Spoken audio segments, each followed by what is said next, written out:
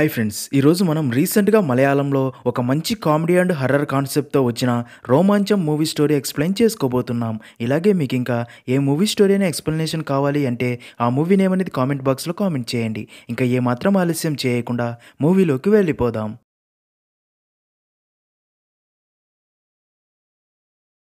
Movie start అవగానే మన మూవీలో మెయిన్ క్యారెక్టర్ అయిన జీవన్ హాస్పిటల్లో స్రోహలోకి రాగానే అక్కడి డాక్టర్ తనను చూసి నీ పేరేంటి? ఎక్కడ ఉంటావని అడిగి మీకు వారం క్రితం మెనింజైటిస్ వచ్చి కోమాలోకి వెళ్ళిపోయావని ఇప్పుడే కోమాలో నుంచి బయటికి వచ్చారు అని. ఇప్పుడు మీకు సెంటర్ ఫిగర్ మాత్రమే క్లియర్గా కనిపిస్తుంది మిగతాదంతా బ్లర్గా కనిపిస్తుంది త్వరలోనే అంతా నార్మల్ అవుతుంది అని చెప్తాడు. అదంతా విన్న జీవన్ డాక్టర్తో నేను నా ఫ్రెండ్స్ని కలవాలి అని అడగ్గా దానికి డాక్టర్ ఇది స్పెషల్ ఐసీయూ రూమ్ విజిటర్స్కి అలౌ లేదు. రెండు రోజుల తర్వాత నిన్ను మరొక రూమ్లోకి మారుస్తాం. అప్పుడు కలుగుతూ గాని అప్పటిదాకా ఇక్కడే ఉండాలి అని చెప్తాడు. నెక్స్ట్ సీన్లో జీవన్ అక్కడే పనిచేసే నయనా అనే నర్సుని పిలిచి తనని మరొక రూమ్లోకి ఎప్పుడు మారుస్తారు అని పదే పదే అడుగుతూ నేను నా ఫ్రెండ్స్ని కలవాలి అని విసిగిస్తూ ఉండడంతో నయనా జీవన్ని చూసి అసలు నువ్వు నీ ఫ్రెండ్స్ని కలిసి అంతగా ఏం చెప్పాలి అనుకుంటున్నావు? అయినా నువ్వు నీ ఫ్రెండ్స్ కలిసే ఉండేవాళ్ళ అని అడగ్గా దానికి జీవన్ అవును అంటాడు. దానికి నైనా అసలు బెంగళూరులో మీరందరూ ఎక్కడ ఉండేవారు? అసలు నీ కథేంటో చెప్పు అని రిక్వెస్ట్ చేయడంతో జీవన్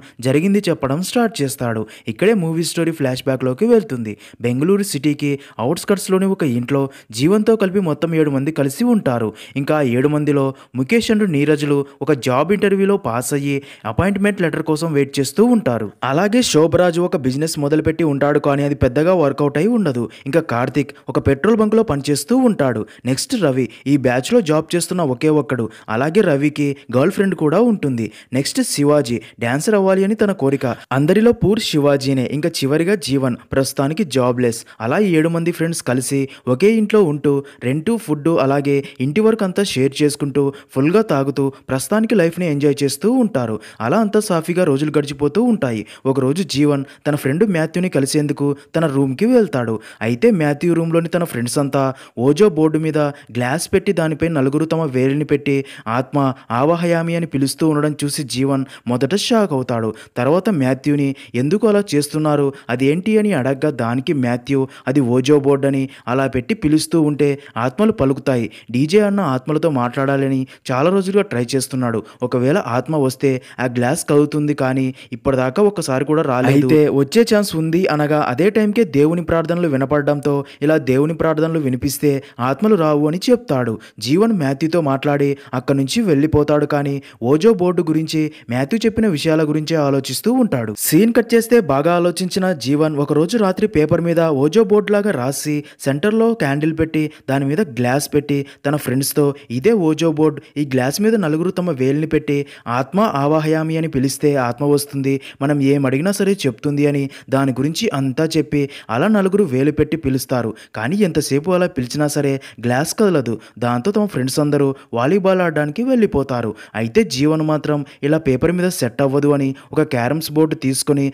రాత్రంతా కష్టపడి దాని మీద ఓజో బోర్డు లాగా రెడీ చేస్తాడు. నెక్స్ట్ సీన్లో ఒక రోజు రాత్రి జీవన్ తాను తయారు చేసిన ఓజో బోర్డు వారి ఫ్రెండ్స్ ముందు పెట్టి వారితో ఆ రోజు మన ఇంట్లో ఉన్న దేవుని ఫొటోస్ వల్ల ఆత్మ వచ్చి ఉండదు. అందుకే ఈరోజు దేవుని ఫొటోస్ అన్ని రవి రూమ్లో పెట్టేశాను. ఈరోజు ఆత్మ తప్పకుండా వస్తుంది అని చెప్తాడు. అయితే నీరజ్ అండ్ ఫ్రెండ్స్ మాత్రం తన మాట నమ్మరు. కానీ జీవన్ వారిని రిక్వెస్ట్ చేసి మొత్తానికి ఒప్పించి మళ్ళీ నలుగురు సేమ్ గ్లాస్ మీద చేయి పెట్టి ఆత్మని పిలవబోతూ ఉండగా అప్పుడే ఆఫీస్కి వెళ్ళిన రవి వచ్చి అదంతా చూసి ఇదంతా చేయడం చాలా ప్రమాదకరం అని చెప్పినా ఎవ్వరూ రవి మాట వినరు. నువ్వు వెళ్ళి నీ రూమ్లో పడుకో మా పని మేము చూసుకుంటామని అంటారు. అలా ఆ రోజు నుండి జీవన్ అండ్ ఫ్రెండ్స్ ప్రతిరోజు రాత్రి ఓజో బోర్డు మీద గ్లాస్ సెట్ చేసి ఆత్మ ఆవాహయామని పిలుస్తూ ఆత్మ ఎప్పుడు వస్తుందా అని వెయిట్ చేస్తూ ఉండగా ఒకరోజు సేమ్ అలాగే గ్లాస్ మీద వేలు పెట్టి ఆత్మని పిలిచి జీవన్ ఆత్మ నువ్వు వచ్చావా అని అడగ్గా అప్పుడే సడన్గా గ్లాస్ కదిలి ఎస్ మీద ఆగుతుంది. అది చూసిన అందరూ షాక్ అవుతారు. అలాగే అందరికీ లోపల భయం. మొదలవుతుంది. అప్పుడే జీవన్ ఆత్మ వచ్చింది అని సంతోషించి నీ పేరేంటి అని అడగ్గా గ్లాస్ కొన్ని లెటర్స్ మీదకి వెళ్ళి చూపించగా ఆ లెటర్స్ అన్ని కలిపి చదవగా అనామిక అని ఆ ఆత్మ పేరు అనామిక అని అర్థమవుతుంది. ఇంకేముంది ఆ రోజు నుండి ప్రతిరోజు రాత్రి Jeevan and friends Ouija board ద్వారా ఆ ఆత్మని పిలిచి సిల్లీ సిల్లీ క్వశ్చన్స్ అన్ని అడుగుతూ ఉంటారు. అయితే ఆ అన్ని క్వశ్చన్స్కి ఆ ఆత్మ కరెక్ట్గా ఆన్సర్ చూపిస్తూ ఉంటుంది. దాంతో ఈ విషయం కాస్త ఈ ఏడు మందికి ఉన్న మిగతా ఫ్రెండ్స్ అందరికీ తెలిసి అసలు జీవన్ చెడుపుతున్నది నిజమో నిజమో కాదో తెలుసుకోవాలి అని అలా ఒక్కొక్కరుగా జీవన్ రూమ్కి వస్తూ ఉంటారు. ఇదిలా ఉంటే జీవన్ వాళ్ళ రూమ్లో ఎలకలు ఎక్కువగా ఉండడంతో నీరజ్ వాటిని చంపేందుకు కోకోనట్ చిప్స్లో ఎలకల మందు కలిపి పెడుతూ చచ్చిన ఎలకల్ని ఇంటి పక్కన ఉన్న స్థలంలో పూడ్చిపెడుతూ ఉంటాడు. నెక్స్ట్ సీన్లో కార్తిక్ ఫ్రెండ్ అయిన ఆది ఆత్మ నిజంగా వస్తుందా అని తెలుసుకోవడానికి జీవన్ రూమ్కి వస్తాడు. Jeevan and friends Ouija board పెట్టి మళ్ళీ ఆత్మను పిలిచి తమ లవర్ పేరేంటి పెళ్ళెప్పుడవుతుంది అని అడగడం చూసిన ఆది ఇలాంటి సిల్లి సిల్లి క్వశ్చన్స్కి నేను కూడా ఆన్సర్ చేయగలను అని నా దగ్గర ఒక పిల్లి ఉండేది. దాని పేరేంటో చెప్పమని అడగ్గా దానికి ఆత్మ గ్లాస్ని మార్స్ అనే లెటర్స్ మీదకి వెళ్ళి చూపిస్తుంది. అది చూసిన ఆది ఒక్కసారిగా షాక్ అయ్యి దాని పేరు ఎవ్వరికీ తెలియదు అది చనిపోయి నాలుగు సంవత్సరాలైంది అనగా గ్లాస్ సిక్స్ అని చూపిస్తుంది. దాంతో ఆది మళ్ళీ షాక్ అయ్యి నిజం మార్స్ చనిపోయి ఆరు సంవత్సరాలైంది అని ఫుల్గా భయపడి అక్కడి నుంచి పారిపోతాడు. కానీ జీవనుడు ఫ్రెండ్స్ మాత్రం అదేది పట్టించుకోరు. ఇంకేముంది వారి ఫ్రెండ్స్కి? జీవనుడు ఫ్రెండ్స్ నిజంగానే ఆత్మతో మాట్లాడుతున్నారు అని అర్థమయ్యి వారు వారు తమ తమ సమస్యలకి సొల్యూషన్స్ ఆ ఆత్మని అడిగి తెలుసుకోవడానికి జీవనండు ఫ్రెండ్స్ ఇంటికి క్యూ కడతారు. అలా ఒకరోజు శోభరాజ్ ఫ్రెండ్ అయిన కదీర్ అండ్ తన భార్య అక్కడికి వచ్చి కదీర్ భార్య ఆ ఆత్మతో తన సవరంన్నర బంగారం పోయింది. దాన్ని ఎవరు దొంగలించారు? పేరు చెప్పమని అడగ్గా దానికి ఆ గ్లాస్ సులోచన అనే లెటర్స్ చూపిస్తుంది. అది చూసి కదీర్ అండ్ తన భార్య షాక్ అవుతారు. నిజానికి సులోచన ఎవరో కాదు కదీర్ చెల్లెలు. వారు వెళ్ళి చూస్తే నిజంగానే తనే ఆ బంగారు దొంగిలించి తన బెడ్ కింద దాచుకొని ఉంటుంది. దాంతో వాళ్ళు ఆ తర్వాత తమ బంగారం దొరికేలా చేసినందుకు జీవనుడు ఆ ఆత్మకి థ్యాంక్స్ చెప్తారు. సీన్ కట్ చేస్తే అలా ప్రతిరోజు తమ ఫ్రెండ్స్ చాలామంది జీవనుడు ఫ్రెండ్స్ ఇంటికి వచ్చి తమ క్వశ్చన్స్ అడుగుతూ సమాధానాలు తెలుసుకొని వెళ్ళిపోతూ ఉంటారు. మరోపక్క డీజే బాబుకి ఈ విషయం తెలిసి తను ఎన్నోసార్లు ఓజో బోర్డుతో ట్రై చేసినా రాని ఆత్మ జీవన్కి మాత్రం ఎలా రెస్పాండ్ అయ్యింది అని జీవన్ మీద ఈర్షతో ఉంటాడు. నెక్స్ట్ సీన్లో జీవన్ ఫ్రెండ్ అయిన మాథ్యూ అక్కడికి వచ్చి ఈసారి తను ఆ గ్లాస్ మీద వేలు పెట్టి అనామిక నీది ఏ ఊరు? మీ ఇల్లు ఎక్కడ? ఎలా చనిపోయావని అడగ్గా దానికి గ్లాస్ ఈ ప్రశ్నలకి నేను ఏ సమాధానం చెప్పను అన్నట్టు గ్లాస్ రౌండ్గా తిరిగి చూపిస్తుంది. దాంతో మ్యాథ్యూ ఇప్పటికే లేట్ అయిందని బైక్ మీద తన రూమ్కి అక్కడి నుంచి బయలుదేరి వెళ్ళిపోతాడు. అయితే ఇక్కడే అదిరిపోయే ట్విస్ట్. జీవన్ అండ్ ఫ్రెండ్స్ ఏమీ అడగకపోయినా సరే గ్లాస్ కొన్ని లెటర్స్ మీదకి వెళ్ళి ఆగిపోతుంది. ఆ లెటర్స్ అన్ని కలిపి చదవగా మాథ్యూ విల్ డై టునైట్ అని ఉండడంతో షాక్ అయిన జీవన్ అది తన ఫ్రెండ్ మాథ్యూనేమో అని వెంటనే తన బైక్ని ఫాలో అవుతూ వెళ్ళగా అప్పటికే మాథ్యూకి చిన్న యాక్సిడెంట్ అయి రోడ్డు పక్కన పడిపోయి ఉండడం చూసి మాథ్యూని లేపి అసలు ఇది ఎలా జరిగిందిరా? అని అడగ్గా దానికి మాథ్యూ సడన్గా కుక్క అడ్డు రావడంతో బైక్ స్కిడ్ అయి పడిపోయాను అంటాడు.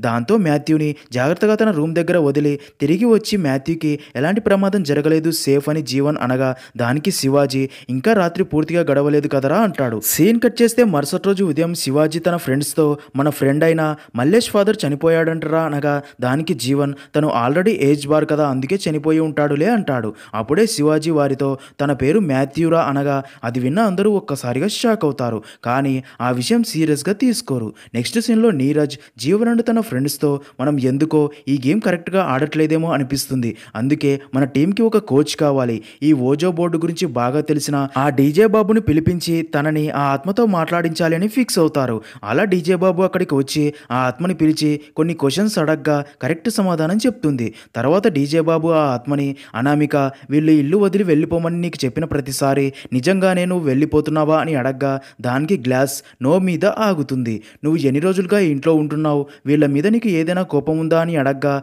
గ్లాస్ ఇరవై ఏడు రోజులని చూపించి తర్వాత ఎస్ మీద ఆగుతుంది. అది చూస్తున్న జీవనుడు తన ఫ్రెండ్స్ మనసులో భయం మొదలవుతుంది. అప్పుడే డీజే బాబు వీళ్ళలో ఎవరినైనా బలి కోరుతున్నావా? అని అడగ్గా ఎస్ అని చూపిస్తుంది. దాంతో జీవన్ మరింత భయపడిపోయి డీజే బాబుని ఇంకా చాలు అపమని అంటాడు. కానీ డీజే బాబు వాడిని ఎలా చంపబోతున్నావని అడుగుతూ ఉండగానే జీవన్ అండ్ ఫ్రెండ్స్. డీజే బాబుని బయటికి లాక్కొని వెళ్ళి నువ్వేం అడగాల్సిన పని లేదు అని అక్కడి నుంచి పంపగా డీజే బాబు వారితో మీరందరూ డేంజర్లో ఉన్నారు అని చెప్పి అక్కడి నుంచి కోపంతో వెళ్ళిపోతాడు. మరోపక్క ఓజో బోర్డు దగ్గర కార్తీక్ ఒకడే చేయి పెట్టి ఉండగా గ్లాస్ చూపించిన లెటర్స్ బుక్లో రాస్తాడు. అప్పుడే నీరజ్ అక్కడికి వచ్చి కోపంతో ఇక మీదట ఈ ఇంట్లో అనామిక గురించి ఓజో బోర్డు గురించి ఎవరు మాట్లాడకూడదు అని ఓజో బోర్డుని పక్కకి తంతాడు. సీన్ కట్ చేస్తే అలా కొన్ని రోజుల దాకా జీవనుడు ఫ్రెండ్స్ ఎవరూ కూడా ఆ ఓజో బోర్డు గురించి మాట్లాడకుండా దాని గురించి ఆలోచించకుండా ఉంటారు. కానీ ఎవరికి వారు తమ మనసులో ఆ ఓజో బోర్డు వల్ల వచ్చిన అనామిక ఆత్మ గురించే భయపడిపోతూ ఉంటారు. నెక్స్ట్ సీన్లో అలా ఒకరోజు జీవన్ నీరజ్తో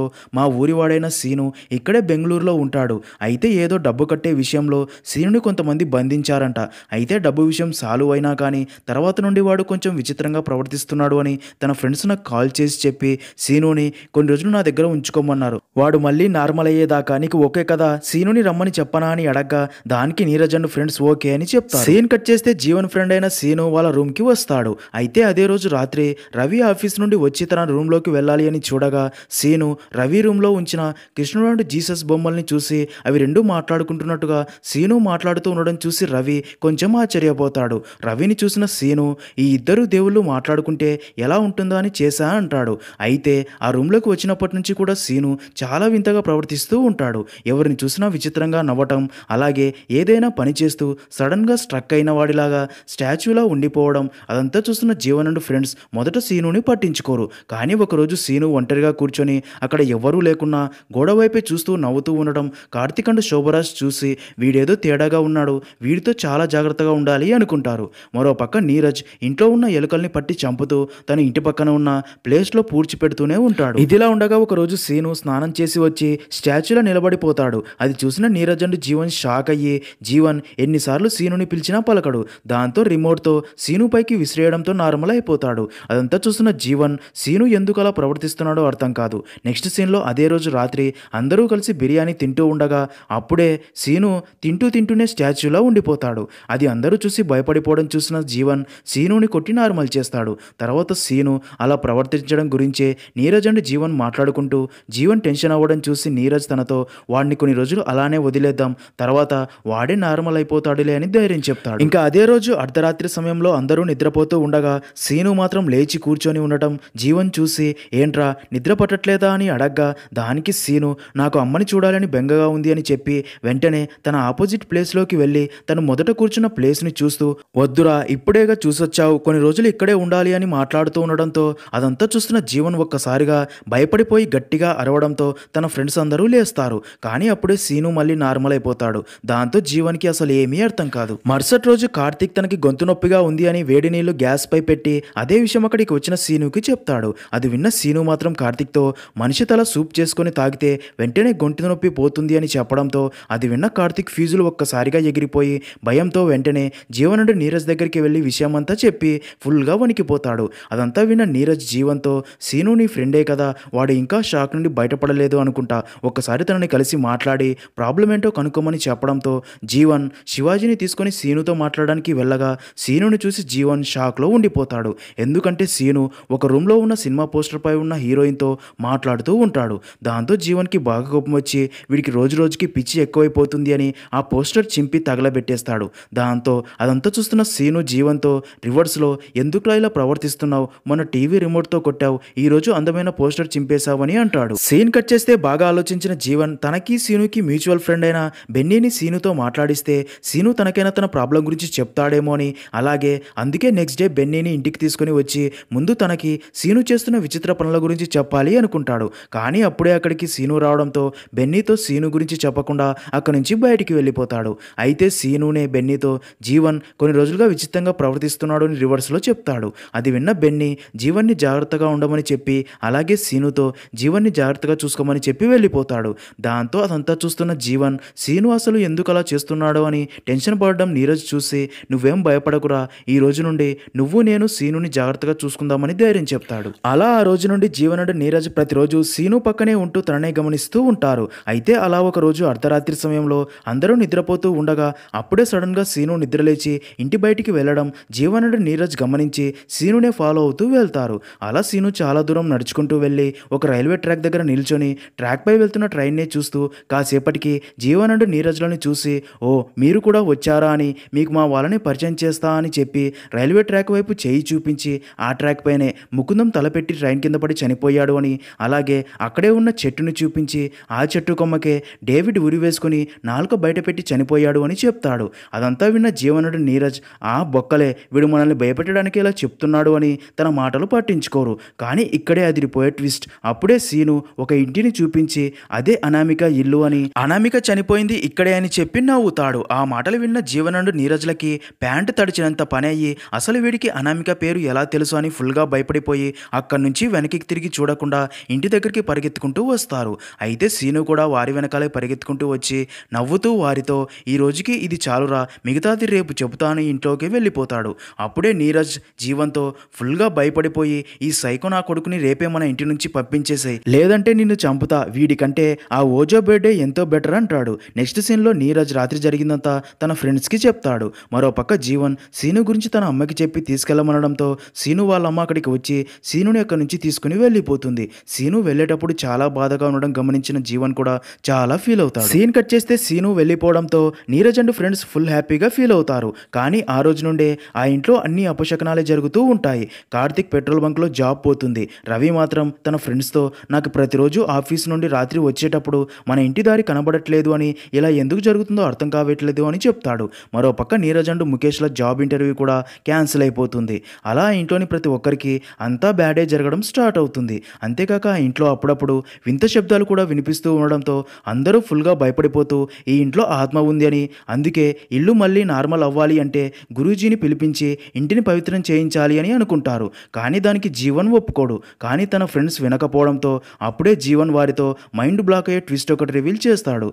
అదేంటంటే రే మీరు ఇన్ని రోజులు అనుకుంటున్నట్టు ఆ గ్లాస్ని ఏ ఆత్మ కదిలించలేదు. నేను శివాజీ కలిసే అలా అనామిక పేరుతో ఈ నాటకం ఆడాము. కావాలంటే శివాజీని అడుగు అనగా దానికి శివాజీ నాకు గుర్తులేదు అంటాడు. దాంతో జీవన్ అయితే ఆ గ్లాస్ని నేనొక్కడనే కదిపా. అన్ని ప్రశ్నలకి నా వేలితో క్లాస్ జరిపి సమాధానాలు చెప్పా. ఆత్మ లేదు ఏం లేదు. కావాలంటే రండి నిరూపిస్తా అని వారి ముందే మళ్ళీ ఆ ఓజో బోర్డ్ సెట్ చేసి వారికి తనే ఆ గ్లాస్ జరిపినట్టు ప్రూవ్ చేయాలని చూస్తూ ఉంటాడు. మరోపక్క ముఖేష్ బాత్రూంలోకి వెళ్ళి ఉండగా తనకి వింత శబ్దాలు వినిపిస్తూ ఉంటాయి. మరోపక్క జీవన్ ప్రశ్నలు అడుగుతూ తనే గ్లాస్ జరుపుతూ ఉండగా అదే టైంకి సడన్గా విపరీతంగా గాలులు వీస్తూ లైట్స్ అన్నీ ఆఫ్ అయిపోతాయి. ముఖేష్ కూడా బాత్రూంలో నీళ్ళ బకెట్ దానంతట అదే కదలడం చూసి ఫుల్గా భయపడిపోతాడు. మరోపక్క రవి ఆఫీస్ అయిపోగానే ఇంటికి బయలుదేరగా రోజులాగే రోడ్లపై ఉన్న లైట్స్ అన్నీ ఆఫ్ అయ్యి దారి కనిపించక తన ఇంటి కోసం వెతుకుతూ ఉంటాడు.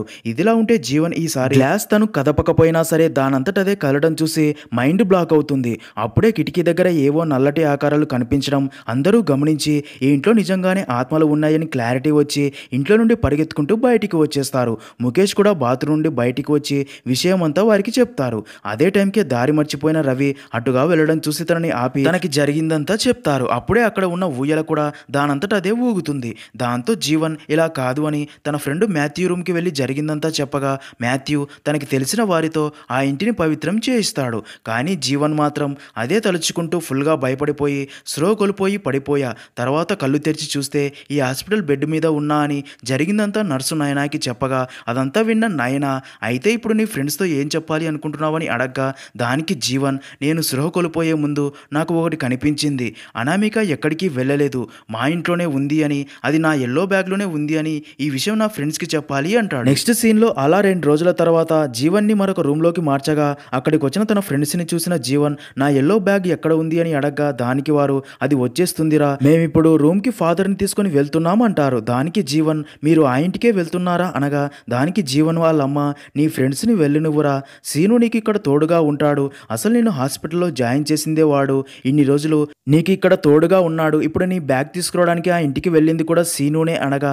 ఇక్కడే అదిరిపోయే ట్విస్ట్. సీను ఆ ఇంటికి వెళ్ళి జీవన్ బ్యాగ్ తీసుకొని అలాగే ఆ రోజు అనామిక ఆత్మ చెప్పిన లెటర్స్ కార్తీక్ సగం మాత్రమే రాస్తాడుగా. అది చూసిన సీను దాన్ని ఫిలప్ చేసి రాస్తాడు. ఇంతకీ అదేంటంటే వీఆర్ కమ్మింగ్ అని ఉంటుంది. అలా సీను జీవన్ బ్యాగ్ తీసుకొని జీవన్ దగ్గరికి రాగా జీవన్ సీను చేతిలో ఉన్న ఆ బ్యాగ్ని చూసి బాగా భయపడిపోతాడు. అయితే సీను మాత్రం జీవన్ని చూసి నవ్వుతాడు. అలా అక్కడితో మూవీ అనేది ఎండ్ అవుతుంది. ఇంతకీ అనామిక ఎవరు? తన ఆత్మ నిజంగానే జీవన్ ఇంట్లో ఉందా? అసలు అనామిక అండ్ సీనుకి సంబంధం ఏంటో తెలియాలి అంటే పార్ట్ టూ కోసం అయితే వెయిట్ చేయాల్సిందే.